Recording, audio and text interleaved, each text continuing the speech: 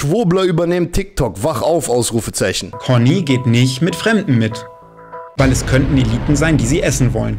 Finde ich gut, ziemlich progressiv für so ein Kinderbuch. Dass Kindern Dinge angetan werden und dass auch anscheinend Regierungsapparate mit involviert sind, ist jetzt keine große Verschwörungstheorie. Anstatt sich darüber lustig zu machen, würde ich mir eigentlich wünschen, dass jemand mit so einer großen Reichweite sich eventuell mal dafür einsetzt und vielleicht mal ein Video über das Kendler-Experiment macht, was in Deutschland passiert ist, wo Kinder zu Pädophilen gegeben wurden vom Staat.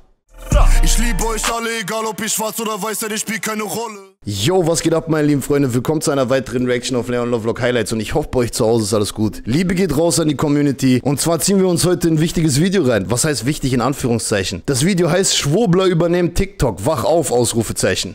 So.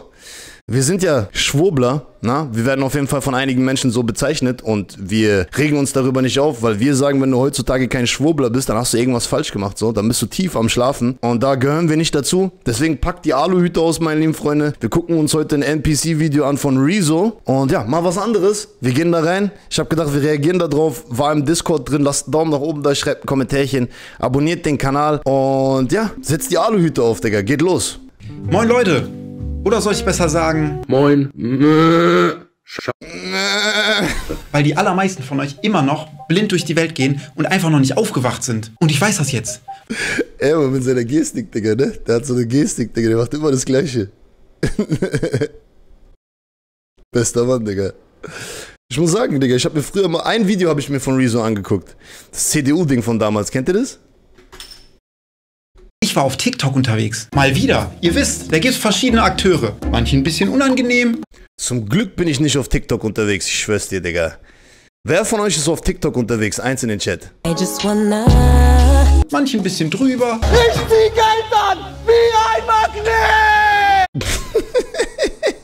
Aber diesmal war das anders. Ich bin auf wohlinformierte, intelligente Menschen gestoßen, die mir in den vergangenen Wochen nicht nur einmal die Augen geöffnet haben. Menschen, die von großen Teilen der Gesellschaft missachtet, belächelt und diskreditiert werden. Redet er über uns, Digi? Und heute soll es genau um diese Menschen gehen, die heroisch und furchtlos ihre Reputation aufs Spiel setzen, nur um uns die Augen zu öffnen und für die Wahrheit einzustehen. Die erste Dame auf meiner For You-Page hat Krass, wie man sich darüber so krass lustig machen kann, ne? Finde ich irgendwie. Ich finde das irgendwie krass so, weißt du? Weil es gab doch schon immer Menschen, die ihr eigenes Leben sogar dafür geopfert haben, um den Menschen zu helfen, Digga. So eine Freiheitskämpfer, von denen wir vorhin geredet haben. Leute, die sagen, ey, es geht um mehr als einfach nur um mich selbst, um mein Ego und um mich zu befriedigen, geldtechnisch oder fametechnisch, sondern ich, ich, ich, ich will mit dem, was ich habe und mit dem, was ich kann, auch anderen helfen und versuchen, anderen, ja, Alter, äh, andere Menschen aufzuwecken. So, weißt du? Ist doch nichts. Ist doch eigentlich nichts, über, über das man sich lustig macht, so. Weißt du, über die Tupacs, über die Kennedys, über die äh, Nelson Mandelas, über die. Keine Ahnung, es gibt so viele Leute, die bereit waren, ihr Leben zu geben für Freiheit, Liebe, Zusammenhalt, Selbst, Selbst, äh, äh, äh, Verantwortung und gegen Kontrolle, gegen Machtausübung, gegen ja, unmenschliche Sachen so. nämlich über Folgendes aufgeklärt. Drehen Sie mal das Wort Leben um. Ist klar, dass der da so irgendwelche voll die crazy Mystiker jetzt nimmt, ne? der scheißt halt rein, Digga, ich küsse dein Herz, Bro. Das Wort Leben umdrehen. Unsere deutsche Sprache ist eine sehr wertvolle Sprache. Wenn man es umdreht? Das ist halt, das nehmen die dann als Beispiel für, für die Leute, die, die das tun, was wir hier zum Beispiel tun, so. Wir sind vernebelt. Holy shit. Jetzt, wo sie sagt, ich habe das for real noch nie ausprobiert. Wenn man Leben schreibt und das jetzt rückwärts schreibt, ich glaube, die meisten von euch wussten das nicht. Ich wusste das auch nicht. Und ich habe das jetzt auch einfach mal mit noch mehr Der hat einfach ein Picture von Lauterbach im Hintergrund, Bruder. Weißt du, was ich meine? Das sagt doch schon alles, oder, Freunde? Wie jetzt, Bro? Hab ich jetzt erst gesehen. Weil das ist ja wichtig, da noch ein bisschen zu recherchieren. Wenn man zum Beispiel ApoRed schreibt und man dreht das dann um, dann kommt da. Das heißt, ApoRed Das Krasse ist auch, guck mal, ich, also ich finde das bis jetzt überhaupt nicht lustig oder irgendwie so. 76.000 Daumen nach oben, bruv. 730.000 Views, Digi. Das ist, ja. Mein Opa? Jawohl, Leute, Abos auf trockner Schau. Boah, Digga, ich kann das gar nicht glauben, diese Ehre. Ich stamme einfach vom Main Character ab. Ich habe mich schon gefragt, woher ich das habe, dass ich so gut mit Geld umgehen kann. Ey, aber gucken wir mal weiter, was die Frau noch zu sagen hat. Wissen Sie eigentlich, dass unsere Kirchen, unsere Rathäuser einst mal in einer Hochkultur äh, Batterien waren? Was, was, was, was, was, warte, warte, warte. Äh, Batterien waren? Freie Energie, kennen Sie das? Der ist doch auch, der ist doch auch ein Arsch, Alter, ich schwör's dir. Freie, ja, der, Bro, Bro. Es gibt halt so viele Leute auch im deutschsprachigen Raum, so, der soll mal eine Debatte machen mit Ken, mit Kayvan Sufis Javasch oder mit mir oder mit Leuten, die halt, oder Daniele Ganser oder was auch immer so, weißt du? Mit Leuten, die halt wirklich intellektuell und auch rhetorisch halt krass unterwegs sind, ähm, die soll er mal einblenden. Da soll er sich mal versuchen, drüber lustig zu machen. Das finde ich halt so, das finde ich halt so krass. Weißt du, das ist so ein typisches Tool so. Der nimmt jetzt eine ganze Bewegung, die, ja, der, der nimmt jetzt eine ganze, eine ganze Community quasi, die sich zur Aufgabe gemacht hat, Menschen aufzuklären und, und, und nimmt dann eine Dame, die ein bisschen crazy ist so und sagt dann, das sind die alle. So sind die alle. Die ganzen komischen Verschwörungsschwurbler, rechten Querdenker und so. Alle, die sind alle so.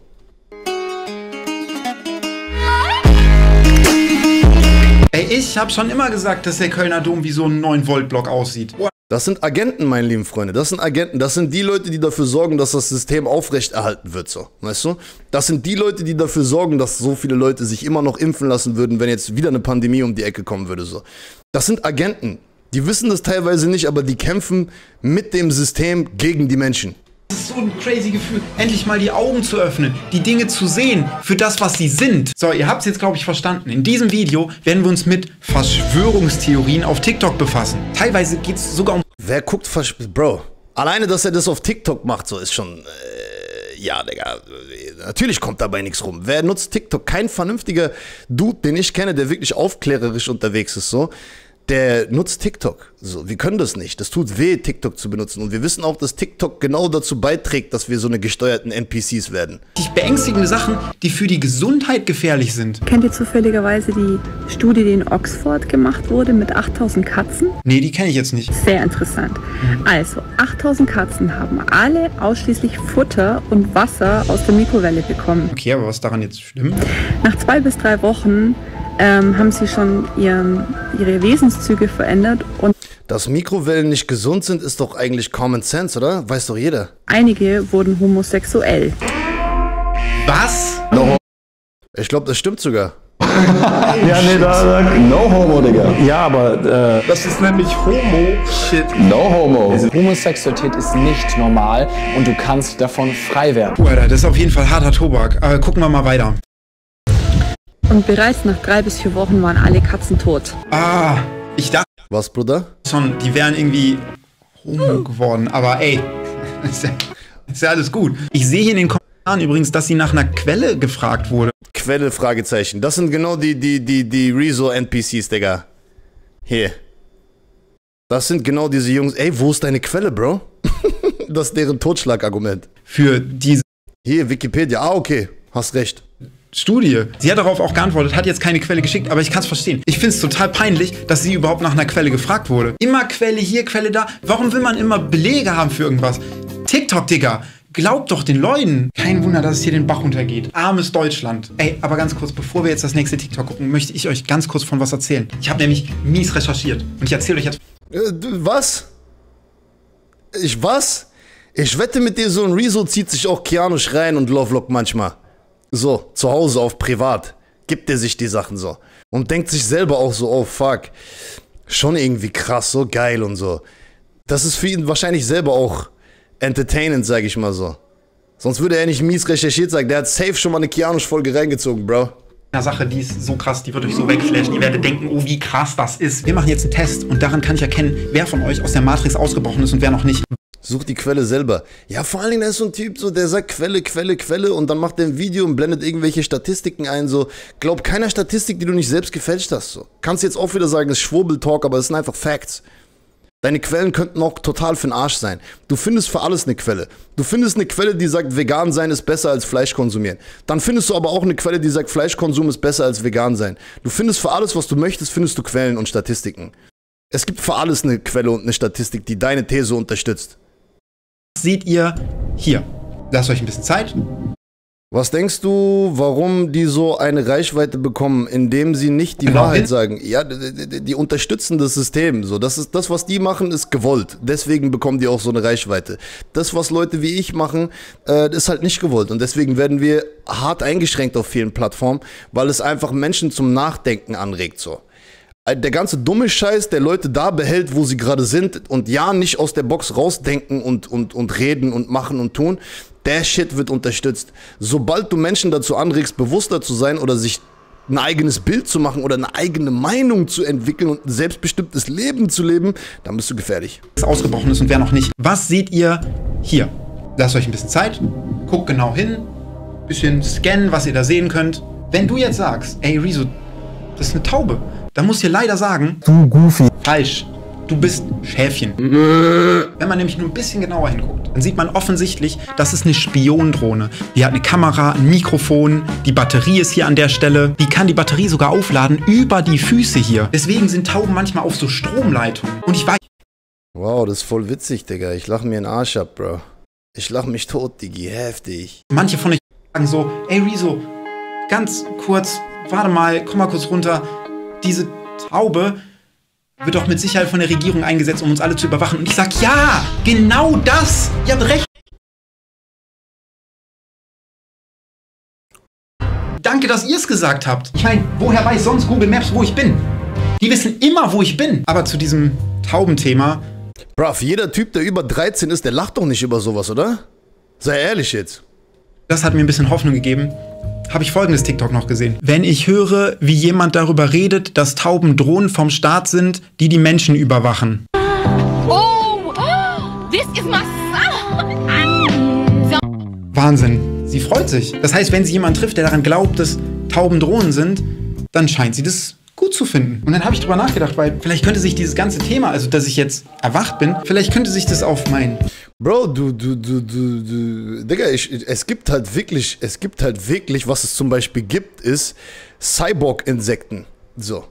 Es gibt fucking Bienen, die technisch hergestellt wurden. So. Und die haben diesen, diesen, diesen Test gemacht, weil die Bienen weniger werden. Und wenn Bienen aussterben, dann haben wir ein Problem mit der Natur. Weißt du? Und deswegen haben die diese Sachen gemacht, als ob die das nicht machen könnten. Weißt du, was ich meine? Das ist so, hä? Natürlich sind, ist nicht jede Taube eine fucking Drohne. Aber wenn die wollen, können die Bienen in, in fucking Cyborg-Insekten machen, Bienen so aussehen lassen wie Bienen, aber das sind einfach irgendwelche technischen Geräte im Endeffekt so.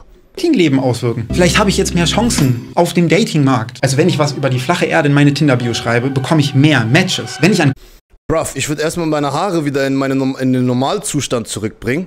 So. Erstmal die Haare wieder entblauen, wenn ich das so sagen darf an der Stelle. Das ein oder andere Mal die Woche ins Gym gehen. Und äh, ja, dann, äh, dann bist du schon besser aufgehoben mit Matches auf jeden Fall. wenn du mich so fragst an der Stelle, weißt du?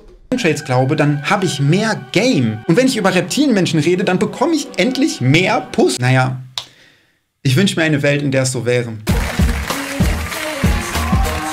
Sehr schön. Stell dich bitte kurz vor. Hallo, ich glaube nicht, dass Vögel Drohnen sind. Ich glaube, das sind halt Tiere.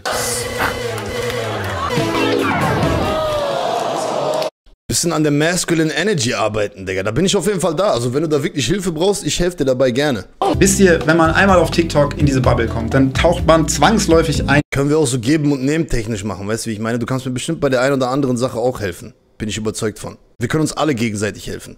Rabbit Hole. Auch einfach von der Frage getrieben, was gibt es sonst noch da draußen, was ich noch nicht weiß und was die Frauen heiß macht auf mich. Wo hat man mir Der will unbedingt Frauen haben, wa? Ich kann mir auch vorstellen, dass Rezo jemand ist, der noch vielleicht regelmäßig Pornos guckt. Kann das sein? Das wäre auch eine Sache, die ich aus deinem Leben rausstreichen würde. Und ich glaube, dann wird es schon besser. Also ins Gym gehen, Haare umfärben lassen, keine Pornos mehr gucken. Da sage ich dir ehrlich, Rezo, da, da, also, da, da kannst du deine ganze Welt mit verändern. Trust me. in meinem Leben noch so viele Lügen erzählt? Was wird sonst noch verheimlicht? Und vor allen Dingen, wer verheimlicht das? Die Wirtschaft da oben! Gibt's so da oben Party meiden? Die da oben! Ja, Mann, aber Digga, mich würde es nicht wundern, wenn ich oder Kianusch oder irgendjemand von uns noch hier eingeblendet wird, Digga, oder? Sei ehrlich, Digga. Eins in den Chat, wenn ihr denkt, dass wir vielleicht auch noch eingeblendet werden.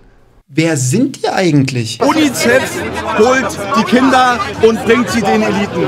Was machen die dann damit? Äh, essen. Essen.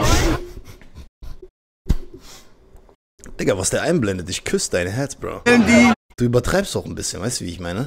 trinken das Blut, wenn sie es vorher gefehlt haben. Äh, lassen, lassen Kinder gegeneinander. Ich meine, das Kranke dabei ist ja, dass Kinder wirklich verschwinden. Und das Kranke auch, also was, was auch sehr krank ist, ist, dass auch mittlerweile immer mehr rauskommt, dass auch irgendwelche Leute, die in heftigen Machtpositionen sind, da auch mit involviert sind. Weißt du, Thema Epstein's Island zum Beispiel ist am Start.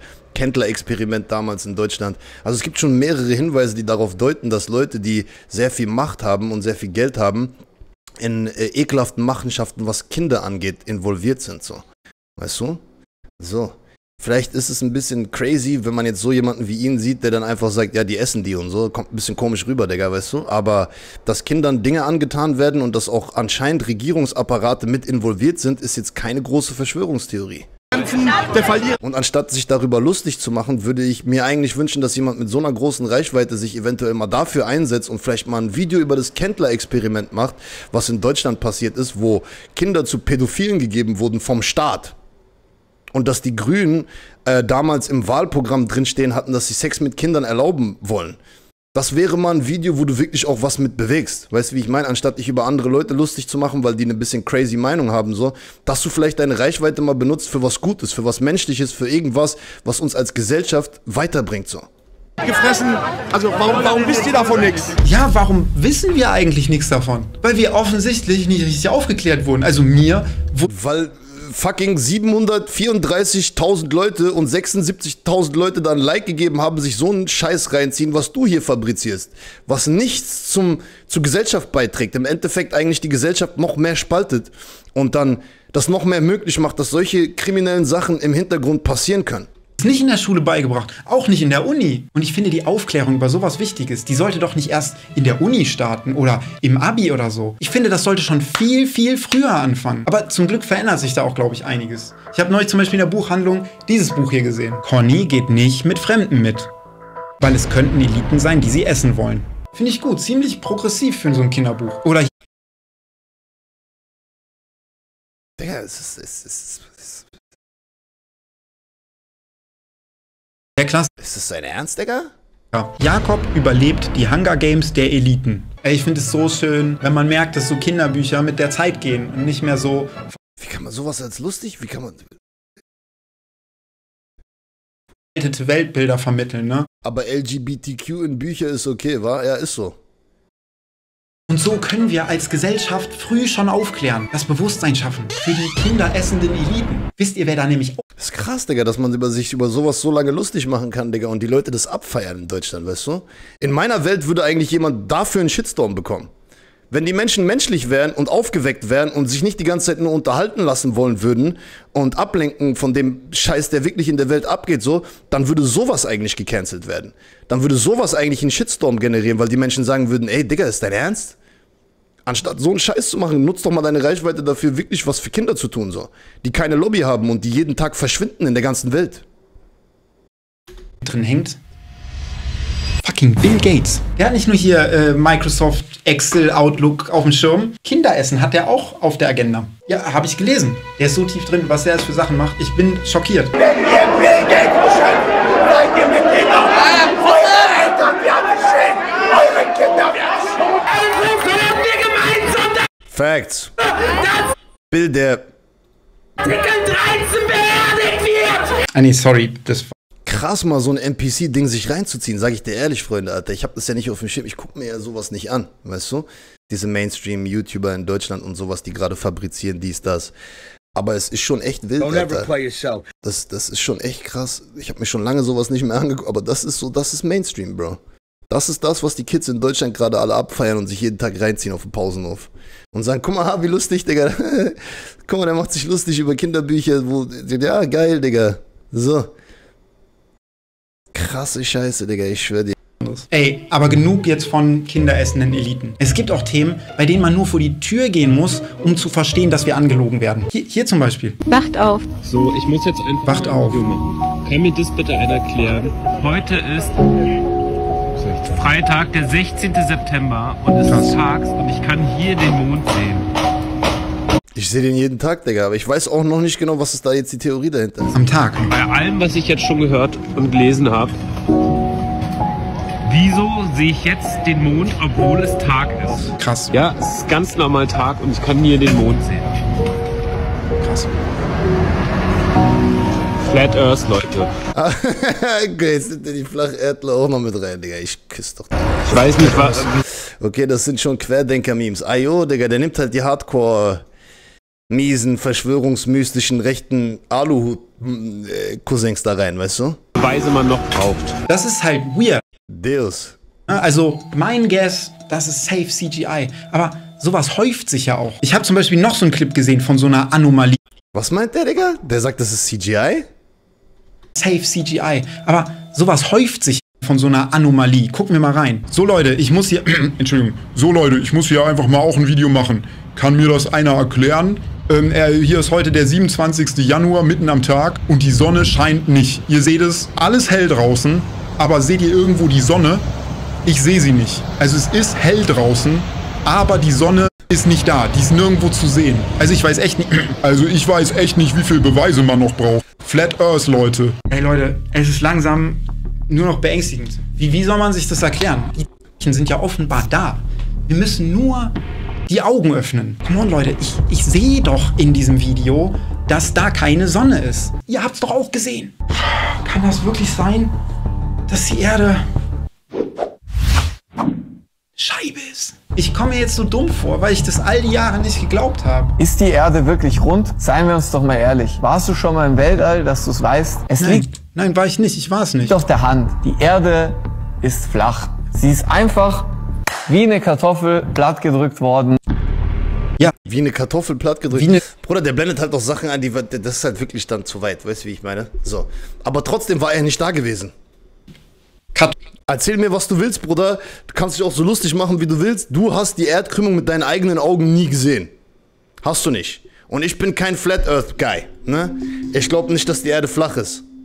Aber trotzdem mag ich es nicht, wenn die sich so hinstellen, als ob die wissen, was los ist. Weißt du? Und dann andere als dumm hinstellen, weil die sagen, nee, ich sehe das anders. so. Die haben auch Argumente teilweise. Deswegen, bruv. Plattgedrückt worden. Von diesem oben herab Ding, da bin ich überhaupt nicht kein Fan von. Weißt du, wie ich meine? Von diesem ich bin der krasseste, ich weiß alles, weil ich die ganzen Geschichtsbücher gelernt habe und in Biologie und in, in Geometrie und in fucking in diesen ganzen Fächern aufgepasst habe. Deswegen bin ich ein schlauerer Mensch als du und deswegen kann ich dir sagen, wie alles läuft so. Bruder, ist so, das sind auch so eine Leute, die dann mir erzählen wollen, ey, ja, Mann, Digga, die Impfung ist safe und so, wer sich nicht impfen lässt, ist ein schlechter Mensch, dies, das, weil Karl Lauterbach hat gesagt und Bill Gates hat im deutschen Fernsehen gesagt und das sind die Quellen, Bruder, die habe ich dir angegeben unten, deswegen ist das Fakt. Also bitte. Und dann Jahre später kommt raus, dass die Impfung für sehr viel Nebenwirkungen gesorgt, äh, für sehr viel Nachwirkungen gesorgt hat und ganz viel Scheiße da gerade immer noch passiert, was wir uns gleich als nächstes Video reinziehen werden, so. Komm mir nicht so. Es gibt Wissenschaftler, die sagen, dass, dass Kinder früh sexualisiert werden sollen. Das könnte in ein paar Jahren der Stand der Wissenschaft sein. Heißt es dann, dass es richtig ist? Nein. Und bis heute ist es ein offenes Geheimnis. Aber warte kurz.